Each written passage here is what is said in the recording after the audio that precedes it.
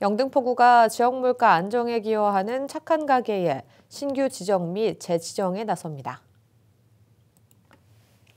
선정된 착한 가게는 가격이 저렴할 뿐만 아니라 청렬 기준과 서비스 기준, 우계 가격 표시제 이행 여부 등을 준수한 곳으로 가맹사업자는 참여할 수 없습니다.